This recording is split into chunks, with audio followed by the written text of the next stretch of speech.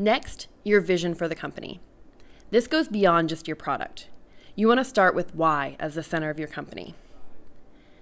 A great saying made famous by Simon Sinek is that your customers don't buy what you do, they buy why you do it. Looking back at the ideation stage, you can take the problem you are trying to solve and flip it to make it into a statement of your purpose. This can then help you set goals on how to achieve your objectives. It will allow you to set the strategy and through that, some metrics for achieving the vision. And only then can you ensure you have the right tactics, the outside circle, the specific product that will deliver on your vision. For example, Launch is more than just an entrepreneurship program for high school students. We prepare students for real world success, building entrepreneurial skills and mindset.